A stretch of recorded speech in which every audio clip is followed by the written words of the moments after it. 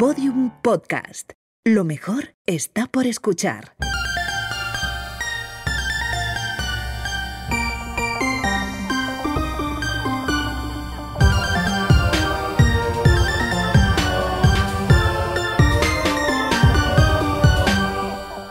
Hola Ana, Hola Carmen, ¿qué tal? ¿Cómo estás? Estoy preocupada. Ya me has Mm, dicho, tienes carusilla, la verdad. ¿eh? Estoy cara de preocupada. Estoy cara. Tengo cara de preocupada, efectivamente. Tengo preocupación por Concha. Ya. A lo largo, ahora mismo no sabéis quién es Concha, o quizás sí, a lo largo del episodio se va a ir desvelando su identidad. Sí, es Eh, nos tiene un poco preocupadas Este a las episodio dos. se inicia con una preocupación y un misterio, pero bueno, vamos a seguir con lo de siempre. nuestras rutinas. ¿Qué has comido, Yana? Hoy he comido, pues como bien sabes, no tengo nada en casa. Porque eres consciente que ayer, como un pequeño Oliver Twist, cené eh, una tostada de pan Sí. con un chorrito de aceite. Vi la foto, da, O sea, me dio mucha pena. mucho- tú cenas de unas galletas. Sí, o no, sea, no, no, no, no estoy estaba la mejor. cosa bien. Entonces hoy, como tenía que hacer cosas por el campus, pues he comido en una en una cadena cuyo nombre no voy a, revelar, que está bastante rica. He comido un bolecito de arroz integral con un poquito de pollo, eh, tomatito, eh, eh, cebolla, un poco de guacamole y maíz. Oye, o sea, que muy pues está, está muy rico, la verdad. bien. ¿eh? Muy rico y como que no era especialmente insano. Y luego me he bebido un café en el departamento, de esos de la máquina de Dunkin' Donuts que hay en el departamento. Eso ya no te- esa marca sí la dice, la otra no. Sí. ¿De verdad? Algún- el, el jueguecito de la ruleta de las marcas de Ana. No sabe. Ya sabes que yo tengo mis criterios. ¿Tú qué has comido? Uy, he comido mal, la verdad. Eh, he comido muy, muy acelerada entre una reunión y otra, recoger nuestras verduras corriendo bajo la lluvia, un wrap Wrap. eh, de algo que llamaban pollo, pero sinceramente no sé. ¿Dónde no te sé lo has comprado? En la cafetería esa que está en el sótano del edificio. Uf, sí, sí, sí, sí, Uf. sí, sí, sí, tú Así sabes. estás tú, así estás Claro. tú hoy de atravesada. Tan atravesada que, y tan insatisfecha con la comida que le he tenido que pedir a Ana que por favor me fuera comprando una bolsa de galletas Le he comprado una bolsa de galletas. que ha caído entera porque Sí. tengo ansiedad. Estamos también muy, muy indignadas porque queríamos beber agua y se nos han olvidado nuestras botellas de agua y lo creáis o no, es imposible compara- comprar agua que no tenga sabores en esta universidad. Todos los sabores que te puedas imaginar menos el no Menos sabor. El no sabor El agua, lo que viene a ser el espectacular. agua, Así que aquí no. estamos eh, bebiendo una cosa como que sabe a limón. eh, bueno, No, pero no. estamos muy bien, ¿verdad, Carmen? Estamos fenomenal. Arriba los fenomenal, corazones. fenomenal, fenomenal. No habremos comido bien hoy, pero donde seguro que hemos comido bien en nuestro viaje súper fugaz a Madrid para asuntos eco- em, económicos, decir, académicos. Ella, la tesis en su cabeza académicos todo el y afectivos. Eh, ¿Qué es lo más rico que has comido en tu viaje a Madrid? Allí sí que comí bien. Puf, es que se me... Se le iluminan los ahí, ojos, Ahí sí que, me ilumino. Pues comí en, en un sitio que se llama Bodega Ricla, creo, que está como cerca No sé de... cuál es. Es, es como de toda la vida, una tabernita así muy chiquitita al lado de, de la Plaza Mayor, que lo- es una señora que cocina estupendamente y atienden sus dos hijos y la señora es majísima, bastante charlatana y te pone unas albóndigas espectaculares, unos callos, porque yo soy un A Carmen poquito le de encanta, casquería. bajo tras esa apariencia de Carmen como de aristócrata o de como de aristócrata del 18 o de como de dama de las camelias en un sanatorio suizo.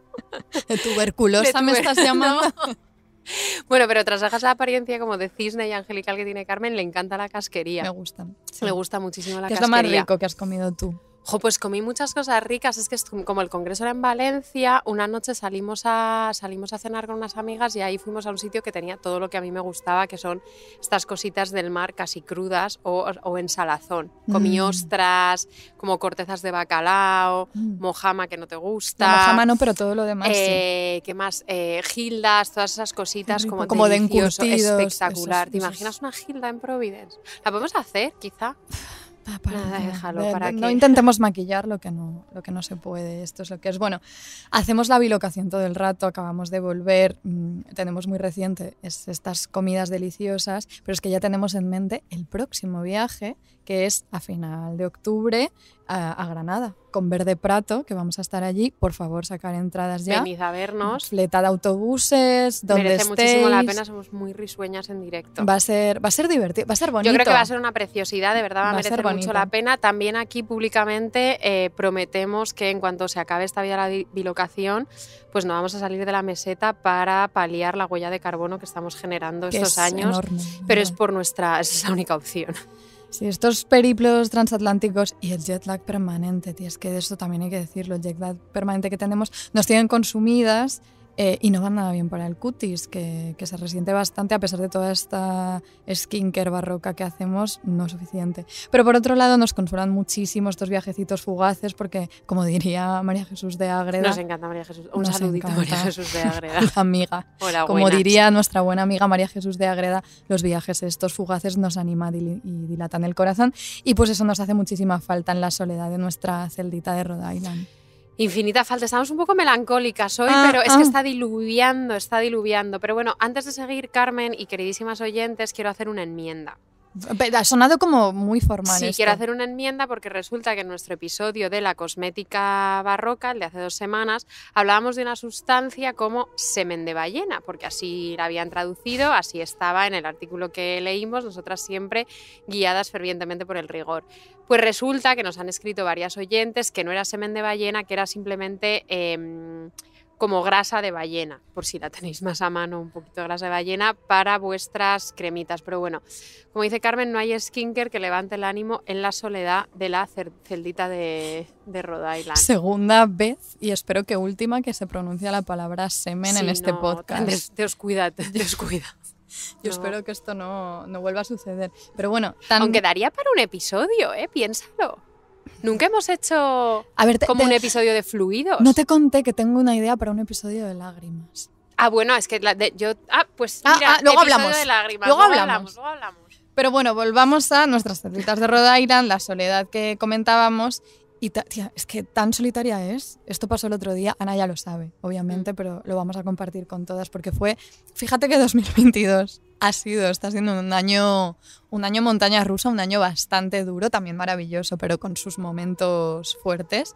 Pues creo que aquí alcancé mi momento más triste de 2022. Seguro, porque has tenido varios He tenido momentos dramáticos, sin duda, pero tristes como de. de como lástima, ¿verdad? como de película costumbrista británica, ¿sabes? Uf, Eh, sí, sí, ese nivel creo que lo alcancé el otro día, porque de pronto me vi pues tan en silencio, tan sola, que me entró como un desasosiego enorme, tan tan grande, que puse el robot aspiradora nuevo que me he comprado, lo puse a funcionar, estando la casa bastante limpia, la verdad, solo por, pues, por tener compañía. Te atendí. Es que tu casa es muy grande, además. Mm. La casa nueva de este año es bastante grande. Bueno, yo he conocido ya al robot aspiradora, se llama Jenny. Eh, la conocí el otro día y lo primero que pensé es que, claro, a ti que tenías a Jenny para limpiar, pero también porque te permitía cultivar eh, un sentimiento súper importante que siempre se tiene hacia las mascotas, que es como esta sensación de dominio, de control, de cierta dependencia hacia ti, aunque a veces Jenny, confiesa, se te revela. Sí, ella, ella se comporta realmente como, como una mascota. Me hace compañía, pero me da bastantes problemas. El otro día es que estaba hablando con Ana y de pronto tuve que decirle, un momentito, te dejo. Que Jenny me la está liando. Me la está liando en el baño, es que la oigo. Y efectivamente se le había enrollado la, la alfombrilla del baño. Está Jenny. Classic Jenny, nuestra Jenny. Pero bueno, vamos a, vamos a, voy a empezar con las preguntas. Tú sabes Venga. que a mí me encanta ser, hacer de reportera, hacerte preguntas, eso es una cosa que me gusta bastante. Primera pregunta del episodio. Ana, Dime. ¿tú has vivido alguna vez con animales? Cuéntame.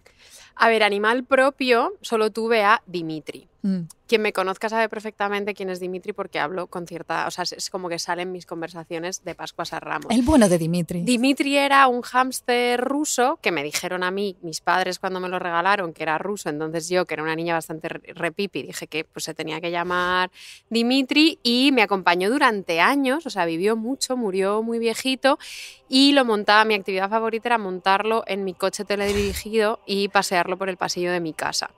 No sé si Dimitri disfrutaba de esa actividad, Seguro que sí. Seguro que sí, seguro que Era sí. ruso, estaría... entonces ahora soy madre adoptiva de gatos Mm. también, eh, que dan bastante más vidilla que Dimitri, discúlpame Dimitri allí donde estés, pero tengo que decir, y tú me conoces, y cualquier persona que me conozca lo sabe, que yo en realidad trabo relaciones afectivas con casi todo. Es decir, no he tenido mascotas, pero a mí pues cualquier cosita, un objeto diminuta, un corta uñas, cualquier cosa insignificante, Un trocito puede- de papel, un trocito de vomitado en to- la calle. todo- cualquier cosa puede ser un bastión de cariño y compañía tan importante como una, como una mascota. Eso es verdad, eso es verdad. Una pregunta. Dime. Lo de que Dimitri era ruso, esto es... esto es- Pero son, yo no sé si son rusos de verdad, pero están como el hámster común, que es como poquito marroncito y luego hay unos que son grises por arriba y tienen la tripita blanca. Y que se les llama rusos. Y se Ah, les vale. llama rusos. Vale, vale. No, No es que si te lo trajera tu Rusia. padre no, de nada, pronto por de- Dios, no, no, sé, no, sé. nada. Manuel Becerra, Vale, vale, vale. lo fui a vale. escoger. Vale, era importante. No lo este adopté, dato. fue Dimitri era un hámster comprado. Pe- Perdón. Me disculpo. ¿Y tú has tenido, has tenido animales? En, eh, en mi casa los animales siempre han estado como muy prohibidos porque mi padre era muy, tenía sus traumitas, el propios con los animales y era como muy reacio a que tuviésemos ningún tipo de mascotas, pero cedieron con las tortugas. Clásico. Claro, y yo tuve, pero además las tortugas cuando las comprabas en una bolsa de plástico en el rastro. Ojo, los noventas que fueron espectaculares, Salvajes. ¿verdad? Claro, entonces mis tortugas salían de ahí. Hablo de tortugas en plural porque yo eh, ahora soy diferente. Yo, yo, yo ahora soy bastante cuidadora, considero, pero en aquel momento pues no. Y se me olvidaba un poquito que tenía tortugas. Entonces iban muriendo una detrás de otra. Las tortugas siempre se llamaban Shakira, entonces era Shakira, luego Shakira 2, Shakira 3, Shakira 4 y hasta Shakira 5 que ya eh, mi madre decidió que debía dejar de asesinar tortugas. Y hasta entonces, sí. Estarán todas ahora mismo, bueno, aparte de muertas, mm, todas las Shakiras bastante resentidas conmigo. Me di cuenta que lo tuyo es falso. Fue la gota que rebasó el vaso. No me digas que lo sientes. Eso parece sincero, pero te conozco bien y sé que mientes. Que bien actúas. Y estabas hablando de todas estas tortugas y he recordado cuando en uno de los momentos del doctorado eh, nos hacía muchísima gracia y nos entretenía muchísimo ver estos vídeos, eh, ver estos vídeos de tortugas eh, copulando con crocs y haciendo unos ruiditos que claramente vamos a meter ahora en el episodio. Vamos, tenéis que escuchar esto.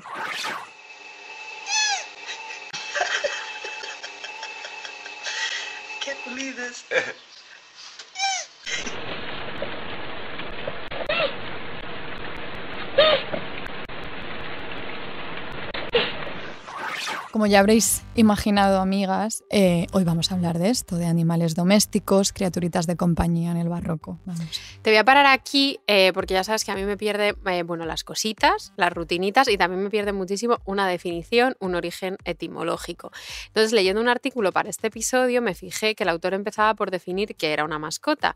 Y aunque es evidente y deducible, aquí lo voy a recordar, porque luego estas definiciones, como en apariencia tan sencillas, a veces se nos escapan. Entonces, por mascota entendemos un animal que vive en el Perdón, interior, pero es que Ana tiene las manos como de catequista, ¿verdad? juntas ahora mismo. ¿Cómo vamos a adentrarnos en el mundo de la etimología? Con las con las gafitas. gafitas. Bueno, mascota es un animal que vive en el interior, no se come y tiene un nombre. Muy bien. Perfecto, o sea, no Lo del nombre comer. El nombre es básico, súper importante No para te la lo identidad, comas. no te lo claro. Y en el interior, bueno, Bueno, pero sí tienen, pueden tener, tienen que tener por lo menos, yo creo, como acceso al interior. de la acceso al casa. cobijo. Sí. sí. Jo, ahí Acceso al cobijo. en la, las per- en la familia de, de Ana, de mi novia, tienen muchas perras. Mm. Y hay una perra que está traumatizada, la pobre, está un poco, no voy a decir loca, porque no, No. no. no voy a decir eso, pero digamos que bastante traumatizada y con mirada un poco de ida. Y ella no la dejan entrar dentro. Oye, pu- pues ya no es mascota. claro, ya no, ya no es mascota. Según este señor, ya Mm. no es mascota. Eh, jo, pues pobrecilla. Eh, claro, entonces yo inmediatamente pensé, vamos a buscar en el Covarrubias la palabra mascota, a ver cómo el graciosillo de. Es que Covarrubias. hace lo mismo. Claro, a ver cómo define el graciosillo de Covarrubias la palabra mascota y sin éxito. Entonces dije, voy al diccionario de autoridades, que ya es de 1739 y seguro que aparece. Y tampoco, No está. y tampoco, porque resulta que la palabra mascota viene del francés mascot. Y eh, no aparece hasta el siglo XIX, que me parece tardísimo, para designar animales u objetos que servían como fetiche, como portadores de buena suerte, o sea, como talismanes. Me emociona mucho esto, como de que hayan existido las mascotas desde siempre, pero el término que utilizamos ahora se incorpore hace dos días, como quien nada. dice. Y lo de la, la acepción de talismán existe todavía. en Es- el- existe, en el existe, en la RAE ahora. sale. Claro, entonces tú tienes muchísimas mascotas todo el rato. La loquita de las mascotas. Bueno, pero por esto que comenta Ana, por eso he dicho criaturitas de compañía y animales domésticos para no faltar al rigor diciendo mascota, aunque probablemente faltará al rigor, faltaremos las dos en algún momento del episodio y diremos mascota porque, porque nos Porque confundiremos un y nos lo vais a perdonar. Bueno, diría, Ana, no sé qué piensas, pero yo diría que ninguna de las dos somos personas especialmente visuales, como que somos más de inspirarnos para un episodio partiendo de un texto antes Sí. que de una imagen. Somos personas bastante textuales. De hecho, esta pregunta yo no sé si te la he hecho alguna vez, pero siempre se la hago a la gente, así que seguro que a ti también. Que, por ejemplo, a ti si te dicen la palabra, o sea, si te dan una palabra de un Hmm. nombre como de un sustantivo muy común, por ejemplo, mesa o Sí, silla, sí. ¿tú, ¿a ti qué imagen se te viene a la cabeza? Em, Si yo te digo silla. O sea, es, es- que no lo sé, ahora mismo estoy bloqueada, pero es verdad que yo cuando era pequeña sí que veía, o sea, veía, veía, veía colores o Ah, mira, de un poco sinestésica veía, la tía. o sea, los días de la semana eran Qué colores, cosas fuerte así. esto, así eres de sensible. Pero ya, pero eso se me ha ido, ¿eh? Eso se me, Mm. esto lo pienso yo mucho, que a mí eso antes me pasaba y ya no. Claro, yo es que siempre veo que las cosas escritas, o sea, si alguien me dice piensa en una mesa, veo ¿Ves la palabra la escrita? palabra Pues escrita. mega textual. Soy no, súper no, yo textual. no, yo no. Yo no la veo escrita. Yo creo que veo más bien la imagen del, del objeto. Como una mesa dibujada Sí. sencillo. Sí, creo que sí. Vale, Creo. sigamos. No lo sé, pero bueno, Wittgenstein. Perdón. continuemos. Nosotras, diría, no somos personas particularmente visuales, pero esta vez, y esto es, esta es la cosa significativa de este episodio, donde todo empieza, la idea sí que no surge esta vez pues, de ninguna lectura, sino de habernos topado con algunos cuadros pobladitos de animales que nos enamoraron bastante. Puede que me equivoque, pero creo que el primero, el primero de estos cuadros en robarnos el corazón fue el retrato que hizo Alonso Sánchez Coello de Nuestro retratista oficial. eso es, pues hizo un, aparte de a nosotras, que nos hizo unos cuantos retratos, hizo el retrato de Juana de Austria, la guapa Juana de Austria, que es un retrato de decir que yo hace meses utilicé para ligar. Qué sinvergüenza. Eh, Porque a nosotras, amigas, esto lo tenéis que saber, el barroco Lo saben seguro, más nos ha, una. más de una lo sabe, nos ha dado para el podcast, pero ante todo nos ha dado para ligar siempre. A ti las monjas te han dado La muchísimo verdad, de las sí. monjas les debo mucho, la verdad. ¿Y tú qué estudias, monjas? ¿Y Claro, tú? bueno, es que eso es una cosa que, que, que da para mucho, la verdad, es muy, muy socorrida. Pero bueno, pues este cuadro en concreto de Juana de Austria, que aparece ella vestida de negro, guapísima, siempre decimos con mirada de arruinarte la vida completamente, además aparece con su perrito, así como vos, en el regazo.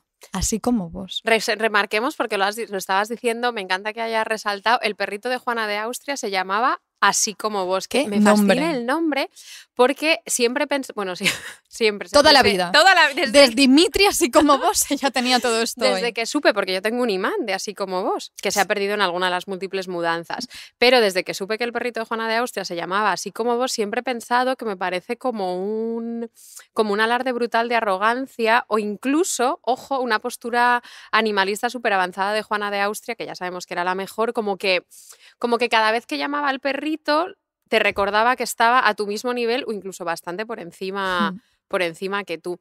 Estoy pensando que yo, claro, he visto mucho el cuadro en. Ah, ya sé dónde lo vi. Yo lo vi en la exposición esa maravillosa que hubo en el Palacio Real. Sí. El, ¿Cómo se llama? La otra corte. Que era Ahí lo las- tenían. Ahí lo tenían, ahí lo vi yo, pero ¿dónde está normalmente? Claro, pero lo tenían ahí temporalmente, pero este cuadro, bueno, en aquel entonces el cuadro colgaba y me parece que ahí sigue, de hecho, en la puerta por la que entraban al coro las monjas del convento de las Descalzas Reales en Madrid.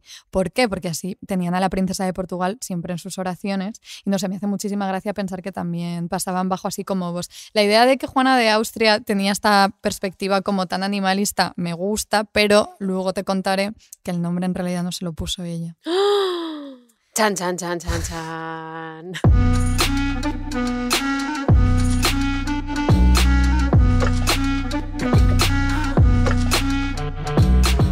Las hijas de Felipe.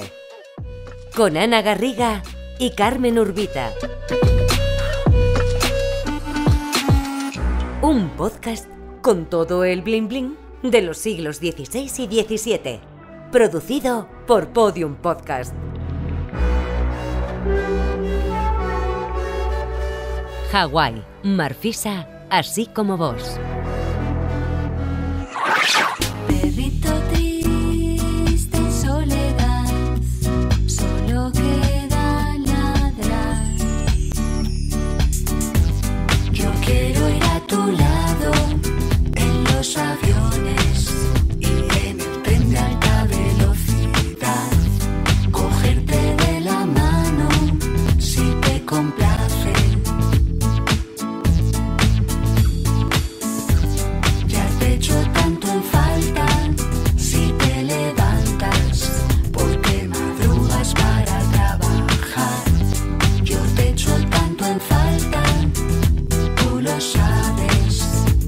Siempre me hizo bastante gracia la, la voz canina de esta canción de single que se llama Tu perrito libre pensador. Que es, es que es, una canción que se te mete en- Yo desde, desde ayer, desde que estábamos con el guion, eh, no paro de tararearla. Es- no vais a parar de tararearla Soy vosotras tu también. perrito libre pensado.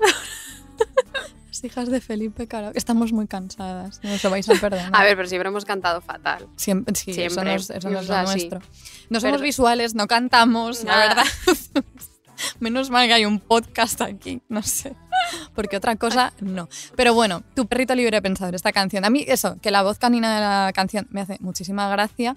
No sé, este perrito así como con muchísima vida interior, filósofo, completamente enamorado de su dueño, de su dueña. Y hay otro momento en la canción que me encanta, que no lo, no lo hemos seleccionado porque es un momento como rap, que, pues como que no me apetecía, pero dice, quiero amarrar mi pata quebrada a tu pata, que también ha de querer estar quebrada. No permitir que asuntos tontos y banales me impidan decir, a cada momento me impidan decir, porque es lo que siento, soy tu perrito libre pensador y te echo de menos. Es que me encanta porque es tiernísimo, pero también eh, me surge una pregunta para ti a raíz de esto, Ana. Otra pregunta, creo que es la segunda ya. ¿Tú crees que igual que la vocecilla de esta canción nos sirve hoy, pues eso, para proyectar fantasías de amor servicial, devoto, desesperado. ¿Tú crees que las personas del barroco proyectaban sus moviditos, sus anhelitos, vamos, en sus animales domésticos? Claro que sí. Mi Por respuesta es por por supuesto. supuesto que sí. Eh, a ver, nosotras somos pesadísimas con la idea de que cualquier cosa que te esté pasando a ti ya le pasó a alguien, probablemente una monja en los siglos XVI y XVII. Así que mi respuesta inmediata sería que sí, que segurísimo que sí. Pero como además de insistentes somos ante todo eh, rigurosísimas, Siempre. vamos siempre a indagar con datos. Aquí lo que os traemos son datos amenizados por nuestras voces Fact. aterciopeladas. Sí. En- Apelusadas. apelusadas. Eh, mi sensación, después de unas cuantas averiguaciones, intuyo que la tuya también, Carmen, es que los animales tenían una función simbólica que servían como espejo de vicios y virtudes humanos dentro de un marco como superfabulístico de moralización, de moralización del mundo animal. Entonces, claro, los animales eran un poco como los signos de- del horóscopo de entonces Vale. Más o menos, pero también servían, como casi todo, como marca de ostentación en ese clima de... em, Dilo, dilo. ¿Cómo traduces tú conspicuous consumption? Pu- eh, eh, consumo a la Georgina. Consumo a la. Georgina, vale. Pues bueno, en ese clima de consumo a la Georgina tan de las cortes europeas. Lo que, claro, tiene todo el sentido del mundo. Si tenías una criatura de compañía, significaba que tenías espacio para albergarla, comida para alimentarla y personas para cuidarla. Como cuando Joselín, eh, Joselín no, Jesulín de Jesulín de Ubrique. tenía el tigre, Currupipi. Currupipi. Tienes que tener eh, Mucha- ambiciones para alojar a Currupipi. Wow, Carmen. No, no, la broma no era intencionada realmente. Pero bueno, lo- una pregunta eh, aquí que es obligada, que es ya la tercera del episodio.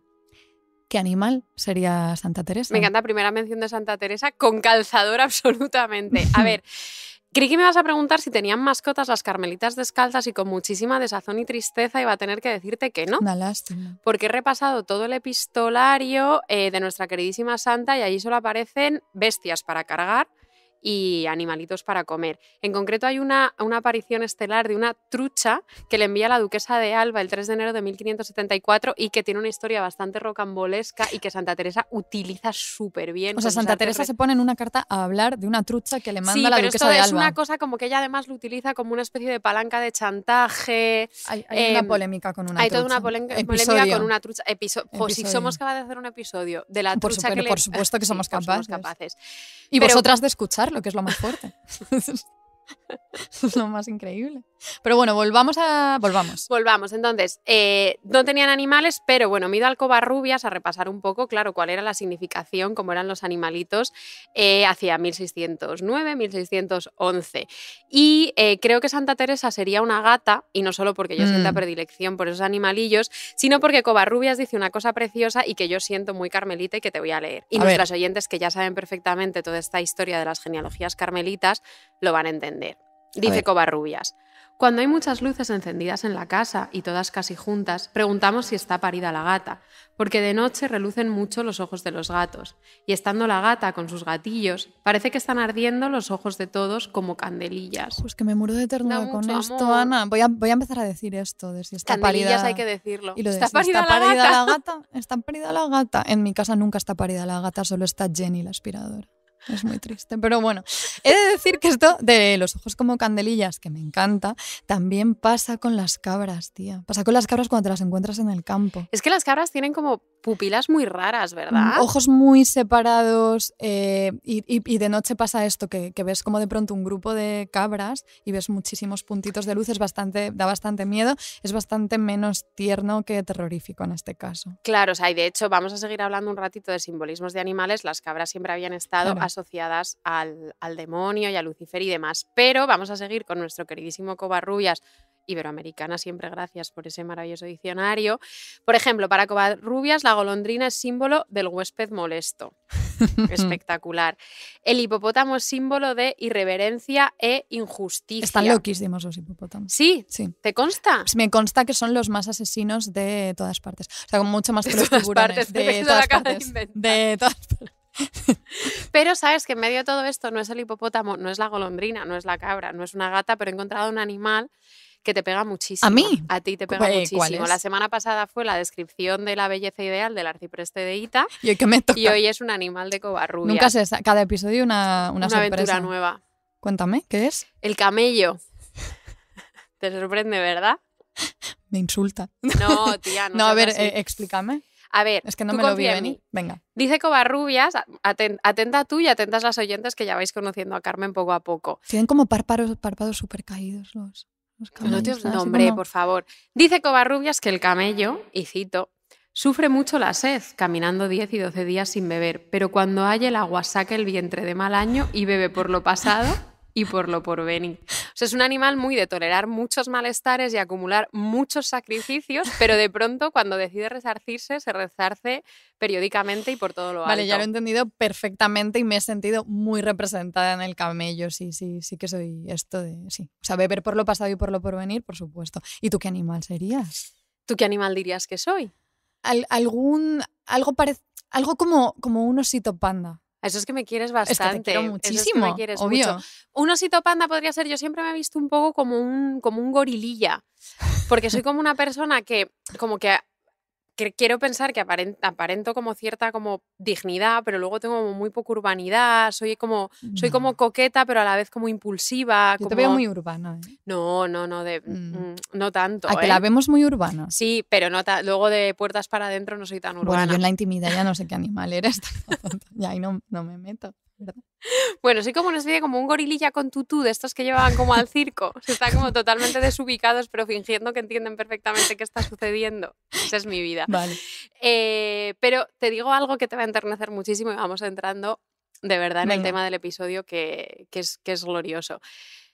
El elefante. Me encantan Te voy a leer que dice Me Covarrubias. encantan los elefantes. ¿Te gustan muchísimo, los elefantes? Esto es una cosa Sí. que yo sé. Pues eh, bueno, tú sabes que es que, que ahora van a, van a venir elefantes estelares. Para Covarrubias, el elefante, contra todo pronóstico, simboliza lo religioso. Es que esto es rarísimo.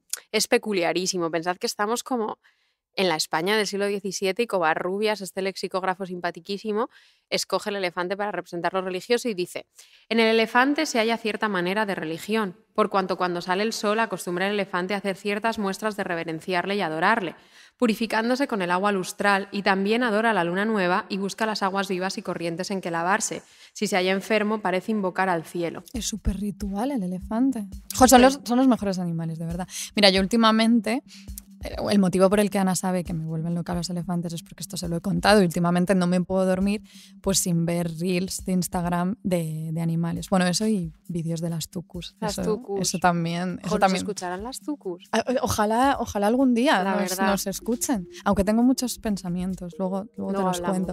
Pero bueno, el algoritmo eh, ya se ha aprendido que aparte de las tucus, a mí lo que más me interesa es ver elefantes. Entonces me los da todo el rato, o sea, Hmm. elefantes comiendo, naciendo, pariendo, bañándose, absolutamente todo. Y este fenómeno eh, súper adictivo pues, de los vídeos, de- en mi caso de elefantes, pero de gatitos, de perritos, de, le- de lo que sea, es súper del siglo XXI, pero yo como que me resisto a creer que no existiera algo ligeramente parecido en nuestros siglos más favoritos de la historia, ¿sabes? Como que estoy empeñada en que algo tenía que Yo creo que no vas nada desencaminada y tú lo sabes, porque tú lo sabes.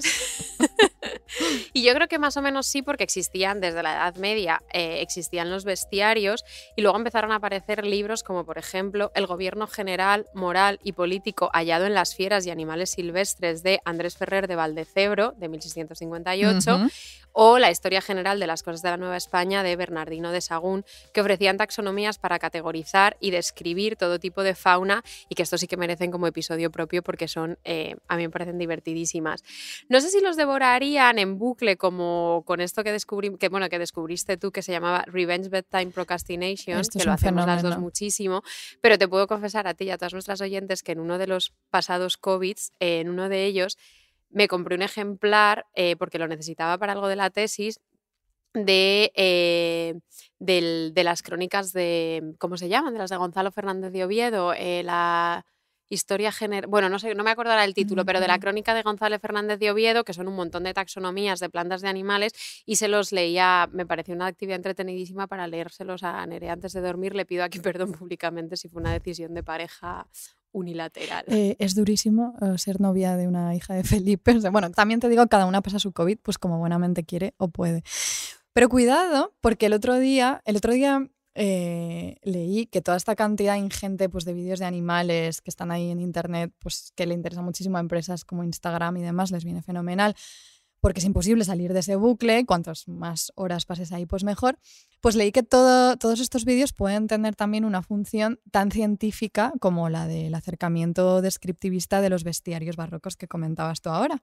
Porque leí, a ver si, a ver si lo he entendido bien, porque la cosa era un poco rara y la verdad, no lo leí en profundidad. Esto te va a sorprender, pero fue una cosa rápida ahí por Mm. Twitter que leí. Pero lo que me pareció entender es que no sé qué instituto científico de la India, que probablemente ni siquiera exista y sea toda Pues una sí, noticia Carmen, falsa, No seas no lo sé, pero leí que han conseguido sacar un estudio que está basado, o sea, las conclusiones aparentemente súper novedosas que sacaron acerca de, atenta, las reacciones de los elefantes al fenómeno de la muerte, o sea, cómo se sienten los elefantes y cómo viven la muerte de otros elefantes. Ay, Sí, pues esto pasa. Pues que habían sacado conclusiones súper novedosas gracias a, a- todo el material que habían observado en muchísimos, muchísimos vídeos de Instagram. Como que eran vídeos de- reales de gente que, claro, ahora todo el mundo tiene un teléfono, se va por ahí a hacer un safari, yo qué sé, todo no sé. mundo... Muchísima gente Ana haciendo safaris o estando por ahí grabando elefantes. Total, que ahora hay muchísimo más material y esta gente lo utilizó para sacar sus conclusiones. Tengo, que decir que, tengo que decir que esto ya me lo habías contado y no lo estaba yo terminando de entender ni en qué consistía el descubrimiento ni nada, pero ahora que lo has explicado así, como, con, como pensando en, un- en una audiencia más amplia que, que va más allá de mí, creo que he terminado de entender. Pero bueno, sigamos con los elefantes porque yo sé y tú sabes Sí, sí, que vamos sí. a llegar a un felicísimo puerto. A mí es que este, este momento, la verdad, os lo digo, me hace muchísima ilusión. la cara. Porque es que llevo muchísimo tiempo queriendo, queriendo hablar de, de esta gran personalidad de la que vamos a hablar ahora, de este caso, que me apetece eso. Desde hace un montón vamos a seguir hablando de elefantes, pero no de cualquier elefante, no un elefante así como plebeyo de internet, sino de un elefante que fue toda una celebrity barroca y que se llamaba Hawái.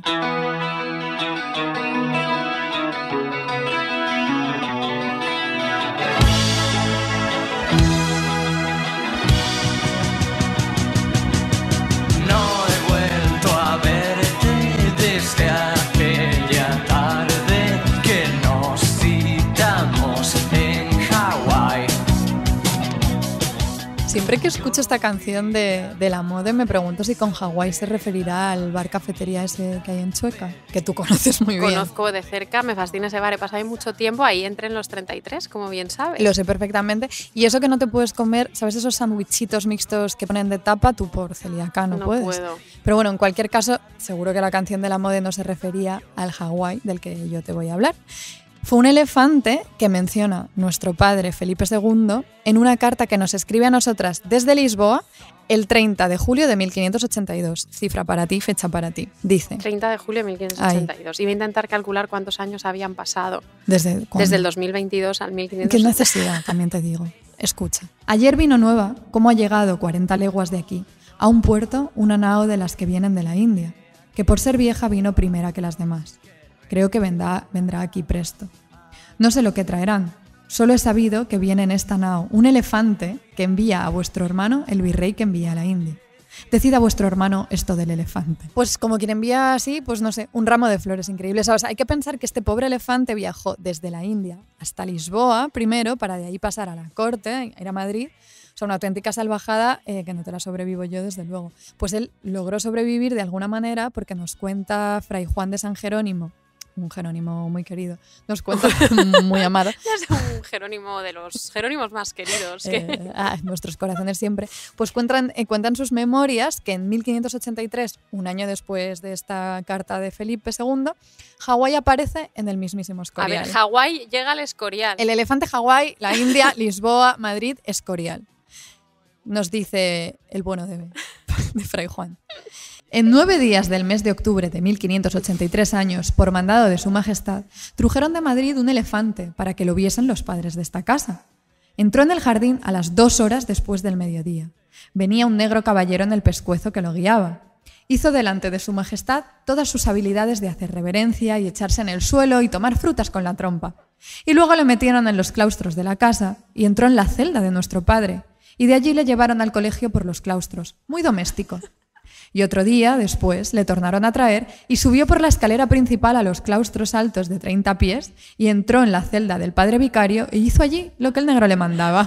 es que, te juro, o sea, por favor, imagínate a los Jerónimos contemplando a Hawái hacer, hacer cucamonas. Me encanta como la- la- es alguien, mm, Fray Juan, muy de cifras como tú. Eh, el 9 de octubre a las 2 de la tarde, Claro, es que que 30 ser- pies tenía la puerta, eso es como súper importante, como, pues no sé, contándote algo, como si no te estuviera contando que hay un puñetero elefante paseándose arriba y abajo del escorial, que el señor ubíquese. Espectacular, o sea, me imagino a todos esos Jerónimos eh, flipando. No sé, no sé qué pensarían los jerónimos. La verdad, yo me los imagino, pues eso, con los bracitos cruzados detrás de la espalda y completamente resignados a que entre rezo y rezo vinieran a molestarlos, pues con cualquier circo. Entretenidillos estaban, eso desde luego, porque atenta, en 1575, esto ya no lo cuenta el bueno de Fray Juan, lo cuenta otro jerónimo también queridísimo nuestro, José de Sigüenza. José de Sigüenza, Ah. que hacía mucho que no pasaba por aquí. Hoy lo tenía que traer. Sigüencita. Pues él cuenta en que en 1575 se llevaron al Escorial, o sea, llevaron las quijadas, dice, de un monstruo de naturaleza. Al parecer era una ballena que apareció muerta en la albufera de Valencia. Y te puedo contar, Ana, por favor, cómo la describe Sigüenza, porque es que tiene que describírtelo todo y darte medidas exactas también de todo, pero además con unas comparaciones bastante Por inesperadas. favor, o sea, ¿te imaginas que te digo que no? Dale. no puede ser. Te estás muriendo de ganas. Me, me muero de ganas. Tenía 150 palmos de largo, la corpulencia o grosez o ancho por el medio, como una torre, que sería en contorno 100 palmos. La cabeza tan grande que podían estar siete hombres en el cóncavo de los sesos. Por la boca entraba un hombre sobre un caballo.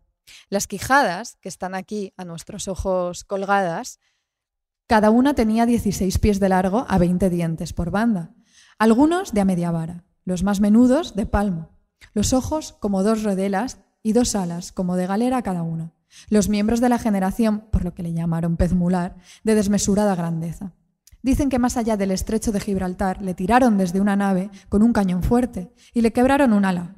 Herido, con la rabia y furor, entró por el canal del estrecho, dando espantosos bramidos, y llegó hasta esta playa, donde murió. Tía, nunca me cansaré de vivir embelesada con la prosa de Sigüenza. No, Es, espectacular, es espectacular. Me lo imagino em, disfrutando como nunca, además haciendo esas comparaciones imposibles, tratando de averiguar si en el hueco del- de los sesos de la ballena que habían seis hombres o igual siete si estaban muy apretaditos, pero además, claro, a ver, ahora me cuesta visualizar una ballena, pero yo creo que está exagerando muchísimo. Es que ¿no? tú no Porque visualizas ballenas, tú ves la palabra Yo- ballena escrita.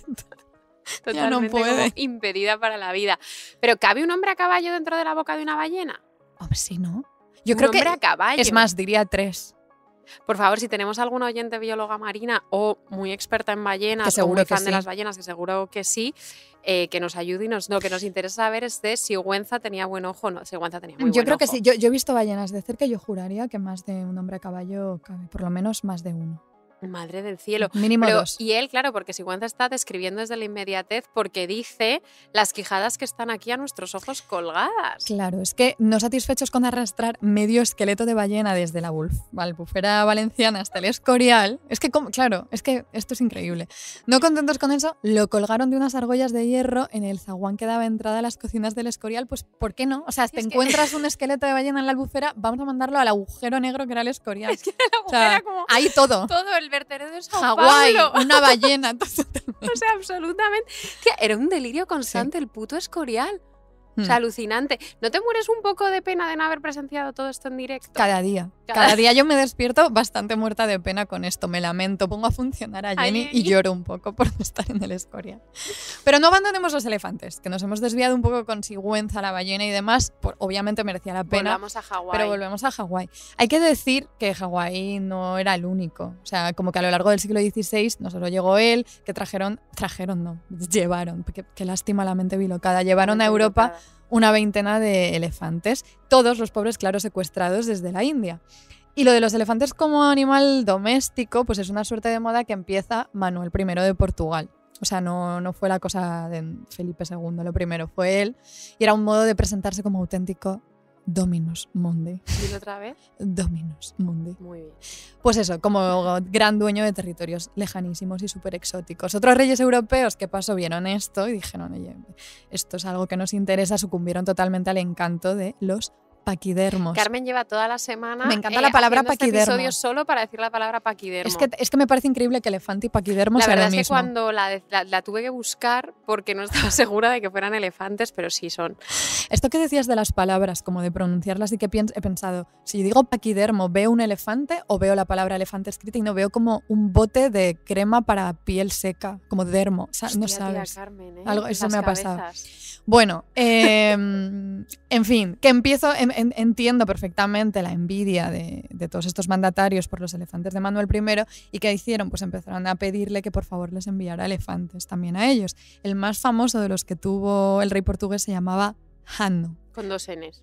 que lo sepas, Hanno, y acabó convertido al final en un regalo para, para el Papa. Pero bueno, Hanno eh, no era tan guay como Hawái. Me parece espectacular como que, que la gente ahora, por escucharnos, tenga que saber cómo se llamaba el elefante que Manuel I le dedicó al Papa León X. Cada vez que grabamos un episodio, bueno, esto empezó en uno de nuestros múltiples aventurillas del doctorado, hubo una etapa en la que las dos, por motivos diferentes, más Carmen que yo, nos obsesionamos con un platero del siglo XVI que Mm. se llamaba Juan de Arfe. Sí.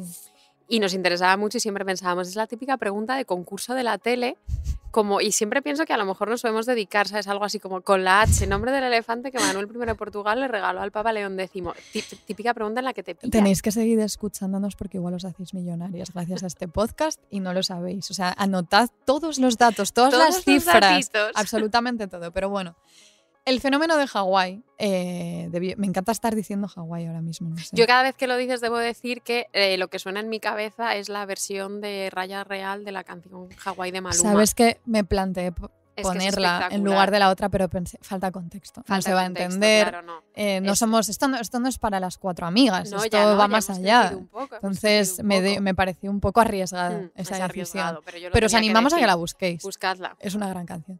Bueno, bueno, que todo el fenómeno Hawái debió ser bastante fuerte. O sea, de- mi impresión es que se convirtió en toda una mascota celebrity, la verdad, porque esto es un fenómeno eh, que yo sé que tú sabes que existe, que lo hemos comentado varias veces, pero te, voy a, te lo voy a formular en forma de pregunta solo porque me gusta formular Venga. preguntas. Tú estás al tanto, Ana, de este fenómeno, que es también de Instagram, de mascotas con perfiles propios y millones de seguidores. Sabes perfectamente Claro. que sí, Carmen. Claro. Eh, puede que mi favorita de las mascotas es como un, un- un perrito con el- la malena muy alisada que se llama Sugu, que lo conocimos cuando fuimos al Carballo Interplay. Increíble. que pasaba por ahí y que va bastante mejor peinado que tú y que yo, cosa que te estoy No es ahora difícil, y no es, no es difícil. llueve. No es nada difícil. Y que pasó su cumpleaños, Sugu pasó su cumpleaños en París. Mira, es que lo tengo y, aquí. a ver, tienes El perfil, Sugu. por favor, buscadlos. Sugu de Pini 23. eh, 23 con cifras. Tiene 8.488 seguidores y pone aficiones viajar, jugar, playa y dormir. Pues no es tonto ni nada. Pues Sugu. no, no, no, no es nada tonto. Sugu, recuerdo que cuando lo conocimos en, en la calle en Carballo, claro, nos enamoramos pues de ese pelo tan, tan lisito, tan cookie, el tan, tan peripuesto. Vimos que había estado de viaje en París. Tiene aquí una foto, es que la estoy viendo, en, delante del Moulin Rouge, pero es que tenía una foto aquí también, sí, en Montmartre, Con un pequeño retrato. en brazos del pintor que le había hecho un pequeño retrato en Montmartre. O sea, es, increíble. Yo- yo- o sea, imagínate ser Sugo, en fin. Em, bueno, pues exacto. Ya estamos todas en el fenómeno eh, Instagramers perrunos. Vale. Pues yo creo que lo de Hawái debía ser algo parecido, porque si no, no encuentro otra explicación a que Covarrubias, del que tú estabas hablando, Ana, dedique páginas y páginas a la entrada de elefantes. O sea, es como de la trucha o de incluso del perro, pues no sé, hace una página, una columna, como mucho dos, pero de la palabra elefante hay páginas y páginas, no tiene sentido, es como una fascinación extrañísima Hombre, por son el bastante elefante. fascinantes, ¿eh? No, no, yo soy la primera que entiende perfectamente la fascinación, pero se me, se me hace llamativo, sobre todo cuando vi que dentro de toda esta descripción, pues eso, del elefante como eh, sim- sim- que el animal que simboliza lo religioso, eh, elefante con todas sus partes, donde se encuentra además, le dedica un ratito a Hawái. Es que Hawái está en. Covarrubias, chicas. Claro, y dice de él que era tan doméstico, que esto también lo dice Fray Juan, hemos leído, dice, era tan doméstico que metía la mano o trompa en las faltriqueras de los que le entraban a ver y les sacaba los dineros o fruta que aposta traían en ellas, o sea, era un tunante Hawái. Es que me hace mucha gracia imaginarme. O sea, tú imagínate, imaginaos todas como a Hawái por los pasillos del Escorial metiendo la trompa en, como en las faltriqueras de las túnicas de los jerónimos y sacándoles los dinerillos que llevaban. O sea, Es me que parece, subiendo y bajando escaleras me del parece una Escorial. imagen espectacular. Sí. Eh, el otro día, sumida en un bucle de reels de animalitos, no, está- no estamos bien, eh, aprendí que los elefantes bebés se chupan la trompa como los bebés humanos se chupan Eh. el, el dedo para, para dormir. ¿Tú te chupabas el dedo? No, no, no, no, no, no, nunca. Yo tampoco. No, porque no, o sea, no sé si en algún momento lo hice, pero mi madre no quería que yo tuviera una dentadura excelsa. Y no- ¿Chupete tampoco te dejaba? Chupete nunca, creo que nunca usé directamente, Ah. o desde muy pequeña jamás usé chupete. Como espino, ¿eh? No te dio chupete y ella tenía una. Sabía cómo te tenía que educar. Mira qué bien lo hizo. Sí, sí, aquí Muy estoy. bien. Por el segundo doctorado. Así vamos. ¿Y tú tampoco usabas chupete? Sí, yo usaba chupete, pero siempre me esto me lo contó, me lo contaron mis padres, que yo un buen día, de pronto, eh, decidí dejar el chupete yo sola. Y entonces cogí, me quité el chupete y lo tiré a la basura y ya nunca más. Eso es súper tú, tía. O sea, es, Hasta una aquí. renuncia. No, yo de decir, a- yo todos Un los días, venga, vale, vale, vale, pero hasta aquí soy un camello, claro. Claro, es que estamos aprendiendo muchísimas claro. cosas. Pero, ¿os acordáis que estábamos diciendo que la definición de mascota pasaba porque las mascotas tuvieran, los animales de compañía tenían que tener un nombre? Pues me hace mucha gracia porque Luis Vélez de Guevara, que es un escritor del 17, del que hablamos poco, pero que tiene textos que a mí me gustan mucho. Le eh, el Diablo Cojuelo, justo. El verdad, Diablo Cojuelo, La. Serrana de la Vera, tiene textos bastante jugosos. Eh, pues en esta horita que se llama El Diablo, el Diablo Cojuelo, eh, habla de esta moda de los elefantes domésticos y se enfada muchísimo de que les pongan nombres propios a los animales en general. Dice Vélez de Guevara, eh, hecho un energúmeno. Los más suelen llamarse don Pedros, don Juanes y don Alonsos. No sé cómo ha tenido tanto descuido su ayo o su onaire, como lo llaman los de la India Oriental. Plebeyo debía de ser este animal, pues ha llegado tan tarde al don. Vive Dios que me le he de quitar, porque me desbautizan y desdonan los que veo. Está como envidioso y tiene una prosa siempre Muy enrevesada, pero está envidioso. Eh, nosotras no tenemos un Hawái, No. no. Eh, pero desde hace unos meses tenemos una mascota celebrity en nuestras vidas. Ay, sí. Y además, eh, a Vélez de Guevara no le gustaría nada eh, porque se llama Concha. Se que llama es un Concha. nombre que le parecería como de habérselo arrebatado a un humano un poco. Pero es que, es que Concha, o sea, Concha tú la ves y en principio te parece pues una perra, un chihuahua. Es pero va muy mucho más allá. Concha. No, es que pesa, pesa un kilo, creo, o, o no, creo que no llega ni al kilo. Pobre Concha, que está enfermita. Está malita, Claro, vamos a situarnos. Eh, Concha llega a nuestras vidas hace no mucho, en realidad, parece que siempre, eh, y es una perra que ya digo, en realidad no, no, no, ella no estaría de acuerdo con, con eso porque se comporta pues como una tirana y una déspota, que es lo que es, y como una famosa, porque te, es que os lo juro, es una perra que reconocen por la calle, que tú vas caminando y de pronto el portero de una discoteca dice, pero sí es Concha, o sea, Concha Menuda su vida propia- lleva Concha. Concha de- ha llevado su propia, su propia vida, yo no sé, no sé, no quiero saber qué ha hecho Concha Estar en brazos de travestis. de llegar a mi vida, pero bueno. Eh, El caso es que Concha, como por eso decía al principio del episodio que estaba preocupada, está malita, está bastante malita ahora. Se va a poner evidentemente buena, pero claro, yo quería aquí traer una cosa que leí de Francisco de Blasco Lanuza, que él escribió un texto que se llama Patrocinio de los ángeles y combate de demonios, que parece que no tiene nada que ver con los animales domésticos, pero sí. O sea, en este libro él le dedica eh, una frasecita a los animales que rescato para dedicársela a Concha. Dice, sumo cuidado que Dios tiene de socorrer las necesidades de las aves y peces, las armas y astucias que da a los animales para defender sus vidas, porque cualquier especie de animales y plantas y elementos tienen para su defensa y conservación ángeles, por divina providencia, consignados. Sus pequeños ángeles de la guarda. Sí. Todas tenemos, Concha también. Concha tiene angelitos de la guarda. Y Shaki 1, Shaki 2, Todas. Shaki 3, Shaki 4. En fin, que vamos a dedicar todas este cachito de canción a Concha y a la dueña de Concha.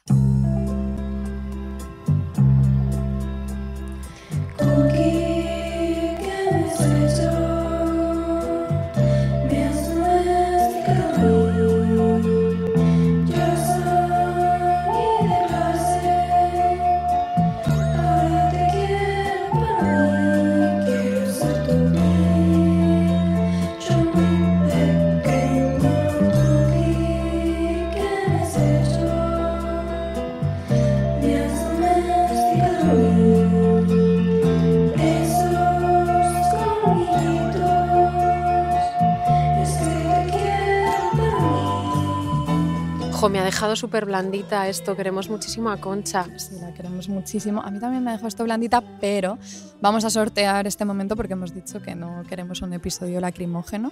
Y vamos a dejar a las mascotas celebrities atrás para hablar ahora de celebrities con mascotas, que no es lo mismo. No lo es en absoluto. ¿Sabes, Ana? Siguiente pregunta. ¿Por qué tú y yo tuvimos unas infancias así tan carentes de mascotas, con la excepción de Dimitri y todas mis Shakiras? En mi caso, porque mi madre Pini y mi padre Carlos, e intuyo que en tu caso, nuestro gestor Mm. Eduardo, muchísimas gracias por todo, y eh, tu madre Conchi se negaban a tener animalillos rondando por la casa. Eso es, se negaban. Pero también, no solo por eso, también porque, al contrario que Isabel, Clara Eugenia y Catalina Micaela, nosotras nunca tuvimos una tía así tan dadivosa como Catalina de Austria, reina de Portugal. Que sospecho que además de dadivosa, era una enamorada de los animalillos. Eso es. O sea, no es solo que adorara a los animales, es que ella como que consiguió adquirir un papel fundamental en el tráfico de mascotas Era exóticas. Una traficante. Pues cuidado que es que lo era. era. Ella traficaba con mascotas para ella y para toda su familia de los Austrias que estaba desperdigada pues, por España, Europa Central, Flandes, en fin. Pero es que traficaba con mascotas y también con esclavos. Cuidado porque del tráfico de personas también participó bastante. Claro, era- a ver, todas estas personas de las que nosotras hablamos tan risueñamente eran unas zorras esclavistas. es que- Básicamente. Sí, Eh, no, no, no olvidamos esto, ¿eh? aunque parece que hablamos con mucha ligereza siempre, es algo que mantenemos en la cabeza. titular el episodio Zorras, Zorras esclavistas. esclavistas. No hay que olvidar esto, que a veces el acompañamiento de una mascota supermona tiene el efecto súper engañoso como de, mm, de palidecer cualquier rasgo tortuoso de la persona que se rodea de estas criaturitas. El otro día aprendí, atención, datos, cifras, que la mujer de Carlos VIII de Francia, Ana de Bretaña, tenía 24 perros, incluyendo 9 galgos, Imposible que se acordara el nombre. de 20 todos. 24 perros, incluyendo 9 galgos, cada uno de esos perros con un sirviente personal. Todos llevaban collores de terciopelo negro con el escudo de armas bordado. También aprendí que el terciopelo se había convertido como en el tejido, esto no te lo he contado, que se había convertido como en el tejido más cotizado Mm. porque pasaba un poco lo mismo con el cristal, que eran como algo caro y elegante, pero que no que no No era el tan ostentoso como una el oro. claro, con- como una ostentación. Mm. Pues esta eh, llevaba a todos los perros así, un poco como Diamond Baby, el perro de Paris Hilton, que por cierto se acaba de perder. ¿Habrá aparecido ya? Voy a Mira a ver si ha buscar. aparecido ya, porque antes de Pero ayer cuenta, estaba cuenta, ¿es que perdido. La recompensa era de un millón de dólares y Diamond Baby lleva unos collares de que no serán como los de Ana de Bretaña, pero unos collares con diamantes que, em, bueno, valen más que tú, Que yo que desde tú y yo luego. juntas. Eso, eso desde luego, espera. Vale, que habla, bueno, bueno, Paris Hilton revela que ha hablado con siete, Siete mediums, de lo vi, mascotas. Lo vi, lo vi, esto Madre mía. Espectacular. Es que, es que hay alguien en Los Ángeles que se dedica a ser medium de mascotas, Claro. evidentemente. Eh, eh, si quieres vivir haciendo cualquier cosa que se te ocurra, bebe- vete a Beverly Hills porque Vete te van a pagar Ángeles, por ello, claro. seguro. Bueno, no te vayas a Los Ángeles, quédate No, en España no. donde estés. No, no te- en fin, Quédate en. España, se, abra- se abraza al micrófono. no seas descerebrada. En fin, em, Sí, hay que tener mucho cuidado con, con- con esta, como con, con esta tendencia a enternecernos en cuanto vemos que cualquier tirana, cualquier zorra esclavista tiene una mascota o se, le, se, se enternece ella misma con una mascota, porque esto pasó cuando murió la reina Isabel de Inglaterra hace poco. De pronto empezaron a circular unos, como un vídeo en el que está ella eh, no sé en qué acto y de pronto se entusiasma porque aparecen dos perros y es como, bueno, pues sí, le gustaban los perros, pero era zorra esclavista. Bueno, aquí debo añadir que como buena persona de familia canaria, yo también tuve, tengo mis anécdotas con el tráfico de animales, como, como Catalina Micaela, Isabel Clara Eugenia, porque mi abuelo Antonio, eh, que era el padre de mi padre, tenía un loro aterrador que le habían traído de contrabando metido en un tubo de estos rígidos para llevar papeles y que vivió con mis abuelos y, mi- y mi padre y mis tíos durante 40 años. Era malísimo, se llamaba Lori, o sea, no sé qué hora la cabeza. Por favor. Y siempre se hacía el miserable. Y siempre, claro, imagino que imitando a mi abuela, que era la única que lo cuidaba, y él era, él estaba súper apegado a mi abuela y era un celoso empedernido y te atacaba si te acercabas a mi abuela. Yo que soy una niña, era una niña súper miedosa, eh, lo pasaba muy mal. Y solo recuerdo a Lori paseándose por el pasillo diciendo, pobrecito Lori, nadie da de comer a Lori, nadie quiere a Lori. Espectacular, Es como, terrorífico. como el loro berrichu. Horroros, horroroso. O sea, es que tenéis que buscar en, en- en YouTube al loro berrichu, de verdad, eh, un loro un poquito esquizofrénico. Pero bueno, em, de verdad que estoy alucinando, Ana, porque no me puedo creer, o sea, siete años de amistad, 27 o 28 episodios de un podcast en común, para que por fin me cuentes esto. es que me guardo, mantengo la llama de la amistad ¿Ah, siempre ¿Sí? encendida. No, no, no, de verdad, estoy muy sorprendida. O sea, me sé todo lo que desayunas cada día, pero me tenías a ciegas sobre la existencia de Estaba Lori. esperando este momento de vincular a Lori con Hawái. No, hay que revisar prioridades inmediatamente. Lori, la verdad, se ganó la carta blanca de por vida para quejarse de todo lo que quisiera después de ese viaje que tuvo que pasar el pobre metido como en un tubo, has dicho. Eso, bueno, tengo que verificar la historia con mi padre, pero yo juraría que esa es como la, la narrativa familiar, que Ya. Lori llegó metido en un tubo. Y así estaba loco y quejándose Claro, todo pues el pobre día. Lori, tú No, verás. me- es, que me, es que me lo imagino eso como, como berrichu, de verdad. Buscadlo en YouTube. Me da mucha angustia, bueno, y en general el loro como animal, porque, no sé, o sea, me parecen como eso, esquizofrénicos, seres como rumiantes todo el rato y con lo mismo. Me parecería una pesadilla vivir en la cabeza de un loro. a mí No así en la de un elefante religioso.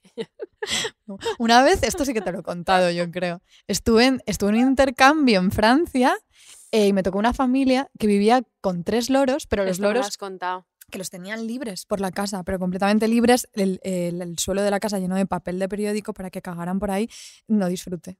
No, normal que no, Eh, claro que no disfrutaste. Pero ¿sabes a quién sí le volvían locos los loros? A ver, déjame adivinar. ¿No será a la única y especialísima Catalina de Austria? Ay, eso es. Yo quería acabar hablando de eh, Catalina de Austria ahora mismo porque probablemente los tenía a ellos no así libres cagándose por ahí, sino alojados en sus jaulitas de oro perfectas y esmaltadas y, y preciosas. Desde pequeñita ella tuvo loros y luego ya de mayor hizo acopio ya de todo tipo de animales, perritos falderos, monetes, periquitos. Unos animales que yo no sabía que existían, pero eran extrañísimos, que se llamaban gatos de Algalia o cibetes. Cibetes, creo. Preparando el Cibetes. episodio me encontré, no sé qué pasaba con ellos, seguro que alguna oyente maravillosa lo sabe, porque yo preparando el episodio me he encontrado con mogollón de trabajo sobre estos gatos de Algalia, así que quizás hagamos un epuedio sobre gatos de Algalia. Bueno, no puede, no ser, puede ser de la pestaña de Hawái también. puede que acabemos haciendo algún episodio. Bueno, pues eh, Catalina de Austria, esta zorra esclavista, más allá del amor por los animales, eh, en todo esto lo que había era lo que había un juego para ella era la posibilidad de presentar una imagen súper espectacular de su corte y como monopolizar el pues eso, con el tráfico y los regalitos de mascotas, toda una red global de conexiones. Ella era, era muy acaparadora, aparte de zorra esclavista. Y a Carlos V, que era su hermano mayor, le mandó a Juste, lo llamaba así, un muy buen papagayo, para que lo distrajera un poco allí en Juste con los Jerónimos. Es que imagínate. Imagínate, claro. a Carlos V en Juste, o sea, Y un llega- le papagayo en un Juste. Ya a día papagayo. de hoy un papagayo en Juste no, No no, termino ve. yo de verlo. Pues a él le mandó eso, luego a su sobrina, la bellísima Juana de Austria que ya hemos mencionado, le regaló cuatro perritos falderos, entre ellos, así, Así como, como vos, vos. claro, que es el del retrato que mencionábamos al principio.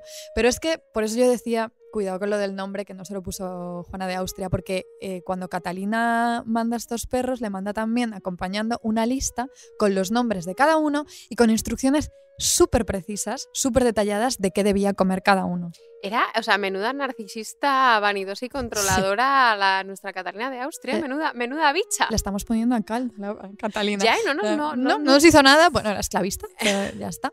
Para nosotras, ¿qué comen las personas o los animales? Pues siempre nos interesa mucho. Pobre Concha, que hoy no ha comido, tía, no come. Concha. Pobrecita. Vamos a mandar muchísimo, ánimo a amor Concha. a Concha. El mejor chihuahua. El la mejor mejor, amiga. chihuahua. La mejor lesbiana también. bueno, nos interesa muchísimo qué come la gente en general, los animales en particular, también todo. Así que cuando leí esto de, la lista detallando que tenían que comer estos cuatro perritos falderos, obviamente me fui corriendo a la nota al pie de página, porque había una nota al pie de página, para enterarme de qué debían comer exactamente, según Catalina. Bueno, pues dos de estas perritas que estaban embarazadas, no sé si así como vos, yo creo que no. Yo creo que sería otra. Carmen cree, Carmen Yo cree que así como vos me no pronuncio, yo creo que así como vos, no. Hagamos una encuesta. Si creéis que así como vos era una de las dos perritas embarazadas, Manda un mensaje de texto. estamos enloqueciendo a las personas. Totalmente.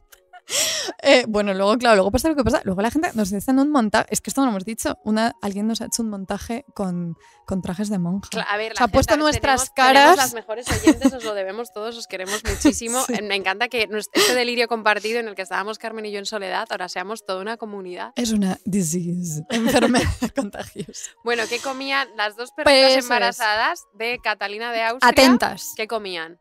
Comían. Podríamos hacer un A. Pizza. con- no, perdón. Comían castañas asadas. O sea, debían comer castañas asadas cocinadas con carne. Eso y no otra cosa. Castañas, Ana. Curiosísima elección, Ah. me encanta que lo digas, curiosísima elección la de las castañas, porque nunca olvidemos aquel día, hará un par de años, Nunca lo olvidaremos. Nunca lo olvidaremos que estaba yo en el Archivo Histórico Nacional, me podéis encontrar por ahí de vez en cuando, y me encontré unos papeles de la sala de alcaldes de Casa y Corte, que eran como unos funcionarios de la Corte, eh, con una regulación extrañísima. Para que os hagáis una idea, los alcaldes de Casa y Corte regulaban cosas como la alquimia, la plata, los dineros, el trigo y había muchísima regulación sobre las castañas. Es cómo comer castañas, quién podía, quién no, qué edad tenías que tener para poder vender castañas y un sinfín de normas em, incomprensibles, la verdad. Incomprensible todo esto, pues tenías que ser perra de Juana de Austria para poder comer castañas, al parecer. Me encantan las castañas, además ahora es época de Y castañas. te gustan crudas, dilo. gustan- esto yo ya lo he dicho seguro en algún episodio porque es una cosa que me gusta mucho. Bueno, pues a Isabel Clara Eugenia y a Catalina Micaela, eh, su tía Catalina, también les regaló muchísimos animalillos exóticos. Y hay pues un sinfín de cuadros donde aparecen todos ellos que ya iremos compartiendo en Instagram porque merece muchísimo la pena verlos, vamos a todos. Y desde pequeñas ellas tuvieron eso, muchas mascotas de todo tipo, jilgueros, tordos, chovas, que yo no sabía ¿Qué lo que son? eran. No sé qué son. Es cre- creo que es otro tipo de pajarito, creo. Pero les ponían eh, cascabeles y escuditos con las iniciales suyas. monísimos, una cucada. Un poquito, un poquito muñecos reborn esto, porque también tenían monas, las infantas, y a estas monillas les hacían sus camas, sus trajes confeccionados al estilo turco, cosas así. ¿Y sabes cómo se llamaba la perrita predilecta de Isabel Clara Eugenia? Carmen, me temo que no, la verdad, o sea, no, no me lo sé. Pues yo os lo cuento. Eh, yo sí lo sé, esto lo tengo que decir, no es porque lo haya leído, esto es gracias a nuestro querido amigo Jorge de Instagram Santotano, que hace unos colas exquisitos Exquisitos. Y que es la tercera hija de Felipe, la verdad. Nos ha compartido muchísima información y datos curiosos. Bueno, pues se llamaba Marfisa. Marfisa se llamaba eh, la rival de la Dorotea en la Dorotea de Lope de Vega de 1632. Ni una Marfisa premoderna fuera de nuestro radar. Episodio sobre las marfisas también, si hace falta. Bueno, pues Marfisa, como la de la Dorotea, en realidad era una perra bastante mimada eh, y un poquito terrorista. se También la ve, Marfisa de la también. Dorotea. porque provocaba bastantes desperfectos en el mobiliario allá por donde iba. Los monetes también hacían sus destrozos. O sea, es que te- me hace mucha gracia imaginarme a pues, toda esta gente de la corte ahí eh, con un mogollón de animales salvajes cargándose absolutamente Pero todo. imagínate además como los animales, pero luego también como los laboratorios de alquimia en el sótano. Gente por ahí haciendo esas Pero puertas. es que te menudo circo ti. de sitio. La- las quijadas Las de la puertas ballena que te gustan a de... Es que hay una- Esas a cosas Carmen que a hay ti- unas puertas del Escorial que le gustan mucho. Es que me gustan muchísimo y esto, esto es un enfa- Voy a hacer un momento Es protesta. verdad, vamos a hacer, lo vamos a hacer. De verdad, me, No, me parece indignante no que tú vayas al Escorial y no puedas hacer una foto de las puertas de marquetería alemana que te gustan.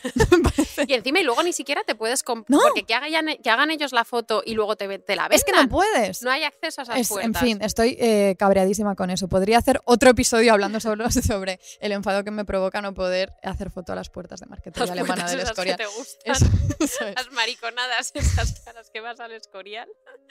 Bueno, pues en el Escorial, mira, en el Escorial también hizo destrozos un animalillo de la corte, ¿sabes qué? Una mona, de Isabel- Perdón, sí. una mona de Isabel Clara Eugenia, no sabemos cómo se llamaba, se comió el fuelle de un órgano del Escorial. O sea, eran unos es que trastos adorables. España es un país. es como. Nada, nada tenía O sea, sentido. la gente en el 12 de octubre, en plan, Bueno, en plan, el día de la hispanidad, uh, el imperio, sabes y lo- una mona comiéndose el fuelle del órgano del escorial. A que de eso no se disfrazan, de eso no. Pero bueno, para cerrar este asunto de ya de la jauría de animales exóticos, carísimos y obscenamente mimados de la corte, te voy a contar, os voy a contar una anécdota de verdad que se va a convertir en vuestro momento favorito del episodio. Yo os- esto os lo Te creo, prometo. te creo fervientemente. De verdad. que Es que me encanta. Y ojalá hubiera más datos de esto. O sea, ojalá una crónica detallada de esto. En realidad, Igual está, todo es ponerse a buscar. es ponerse a buscar. Lo único que yo he encontrado es eh, un, nada, dos líneas de una carta de Isabel Clara Eugenia en la que se refiere a este episodio. Pero vamos, os cuento. Recreación histórica. Resulta que en 1598 la emperatriz María de Austria, Ma- María de Austria, a ver, si no sabéis muy bien quién es, hablamos un poquito de ella en el episodio de los Ribord, de las descalzas reales. Pues ella vivía en nuestro querido convento de las descalzas reales y de pronto se pone ella curiosona, probablemente un poquito celosa, y decide que como sea necesita ver a todos los perritos de Isabel Clara Eugenia. Tiene que verlos, tiene que tocarlos, tiene que ver qué están haciendo y cómo son y cómo van vestidos.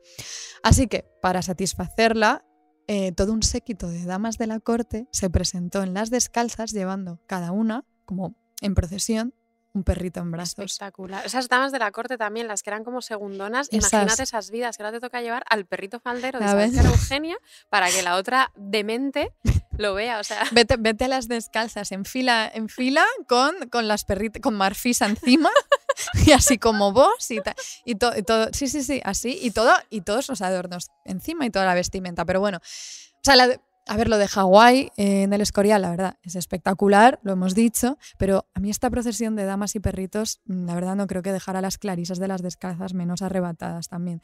Hay, y como decía, hay una carta eh, que escribe Isabel Clara Eugenia a su hermano Felipe III en la que le cuenta que entre estas visitas ha tenido hoy mi tía, mi tía María de Austria, la de mis perros que quiso ella verlos. Y así los llevaron cada dama el suyo y dijo Francisquita que parecía la procesión de las amas, que nos hizo reír. O sea, ¿cómo se lo pasaban, eh? me hace muchísima... ¿Quién sería Francisquita? ¿Quién sería Francisquita? Pues Pues una pobre saber. desgraciada. Claro, bueno, pues no sé, no sé. Igual estaba súper feliz A mí me Francisquita. ha dado y- pena, Francisquita. Desde el que he leído nombre. esta frase me ha dado penilla a mí. Pues imagínate ese momento. Como el- el- la- las clarisas niñas que hoy vienen, todas las perras de la corte. Vamos, vamos a ver cómo las tienen peinadas. Como, a mí me hace mucha gracia. A ver, es espectacular. Irían tan peina- también peinadas como su U23. Pensaba que ibas a decir como nosotras, ¿no? No, como nosotras. no. Como nosotras, ¿no?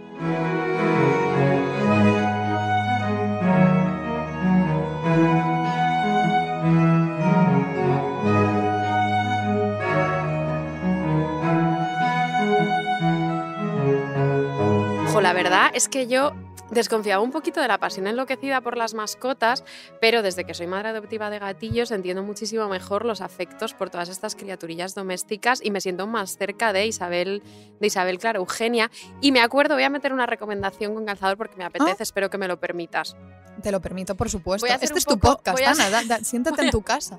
Voy a ser un poco anacrónica de nuevo. Eh, y me acuerdo con mucha frecuencia, y me he venido acordando todo el episodio según hablabas, del que creo, Carmen, que es nuestro gato o incluso animal más favorito de la historia de la literatura. Wow. ¿Sabes de quién te estoy hablando? ¿Acaso estás hablando del el gato de Doña Berta? de Clarín? Estoy hablando del gato de Doña Berta de Clarín. Jo, Doña de Berta. verdad, tenéis que leer Doña Berta de Clarín eh, en cuanto podáis, es, es, Sí. es maravilloso.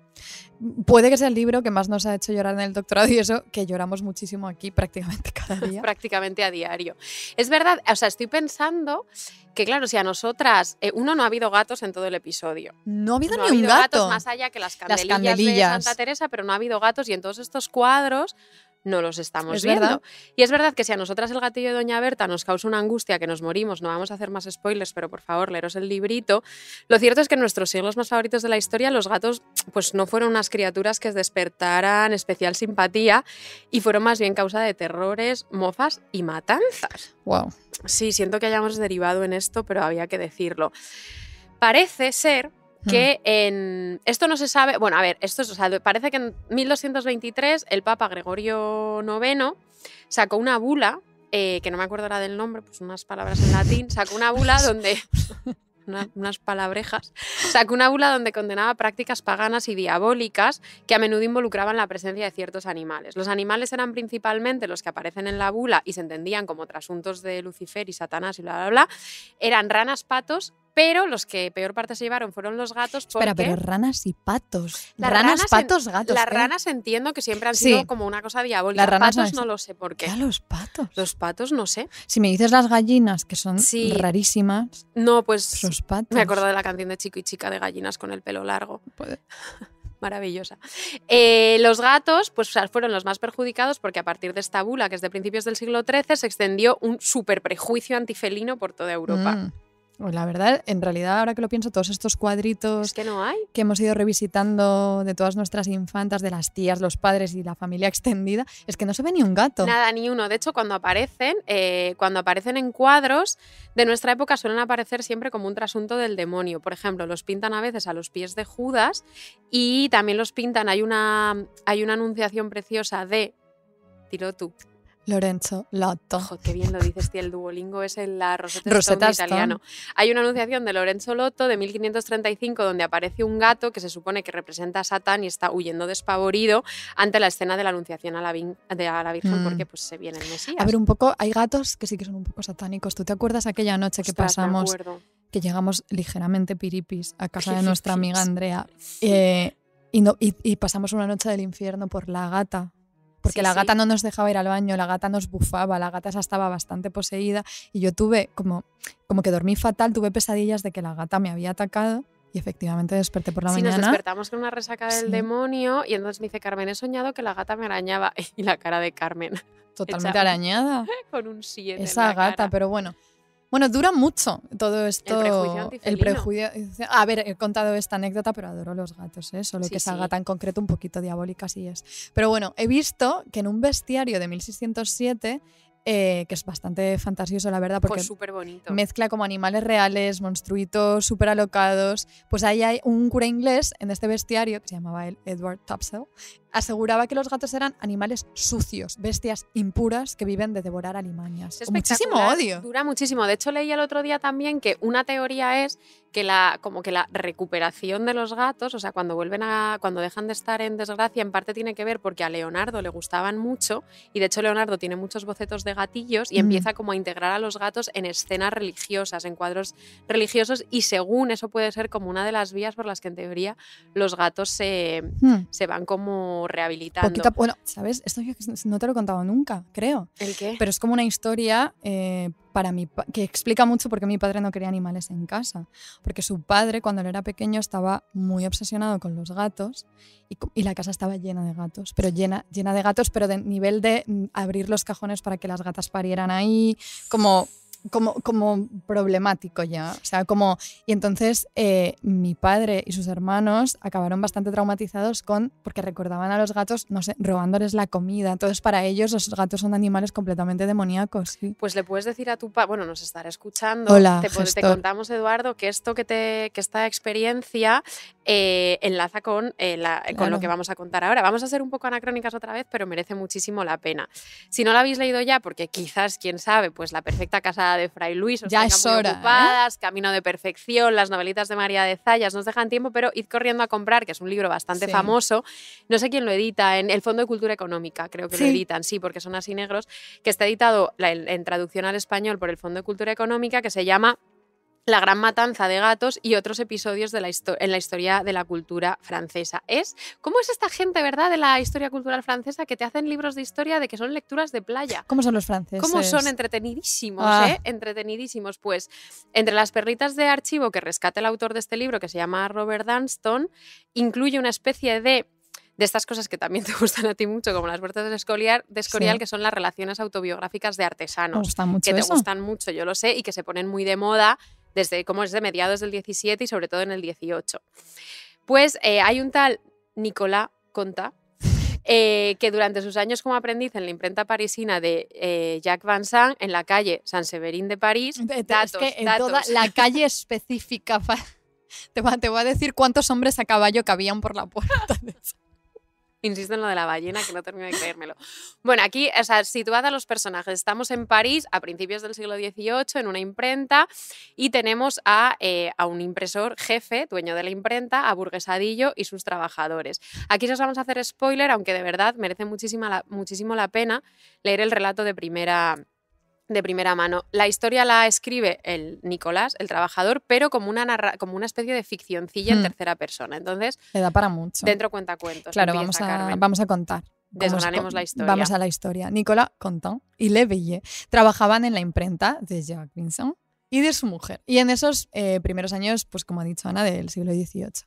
¿Qué sucede? Viven una situación de explotación extrema que nada tenía que ver con el recuerdo que el propio Nicolás tiene de aquellos, pues, de los gremios artesanales idílicos, así como democráticos, en los que maestro y aprendices trabajan en comunidad, nada de eso. Esta, Olvídate. esta es otra movida. Nicolás y Leville no pueden más. Se levantan a las cuatro. Esto, esto es como hacer una tesis. Se levantan a las 4 de la mañana para trabajar. Duermen sobre el suelo.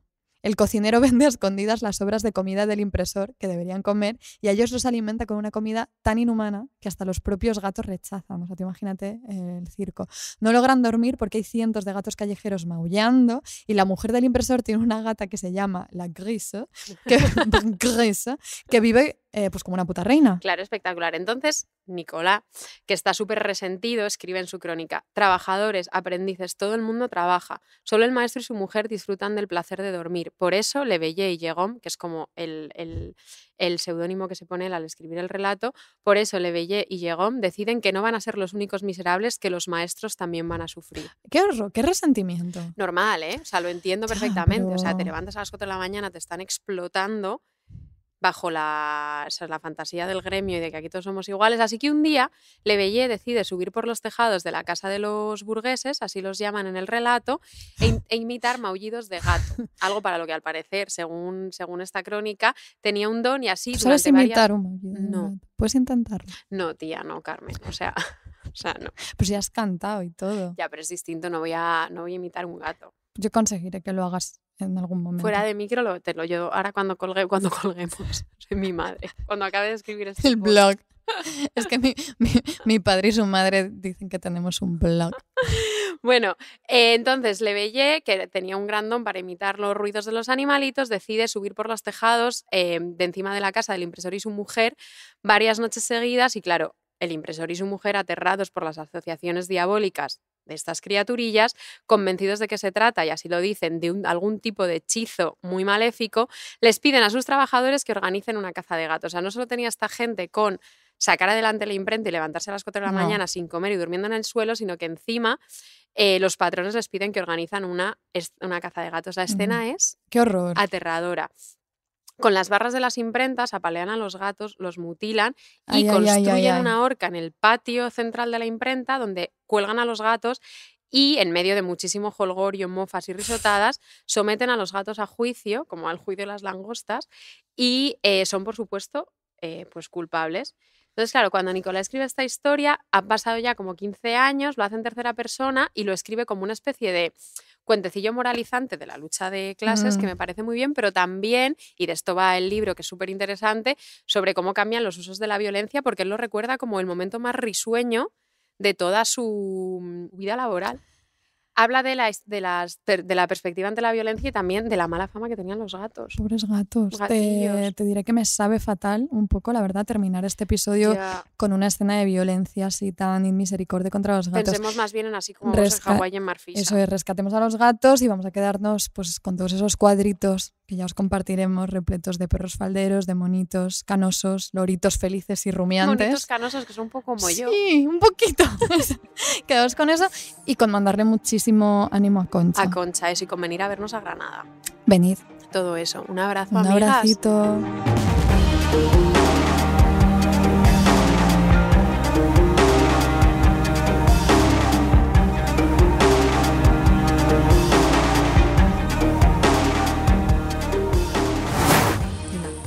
Токновой.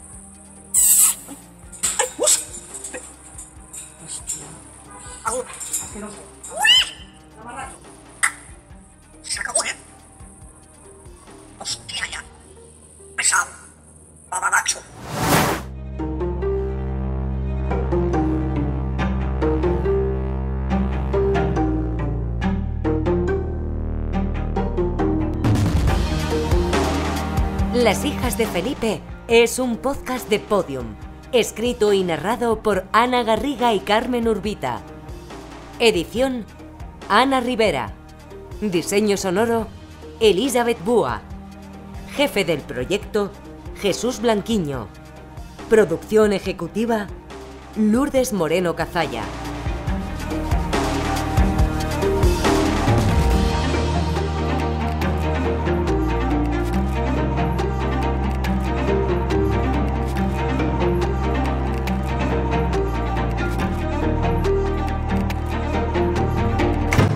Escucha todos los episodios en Podium Podcast y todos los agregadores de audio.